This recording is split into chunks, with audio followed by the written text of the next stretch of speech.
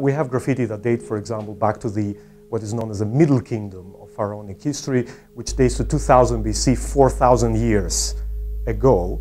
And that was a time when um, Egyptian pharaohs um, started getting interested in that area. They wanted to exploit it. Graffiti that these travelers chose to leave behind, they are surprisingly, they don't really say much. They don't give us much information about the travels themselves. So they kept that secret for whatever reason.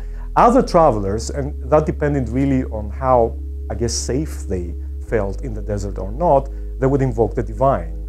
So they would invoke a number of deities that was um, probably responsible for those areas because we are talking about ancient Egypt that has hundreds of deities.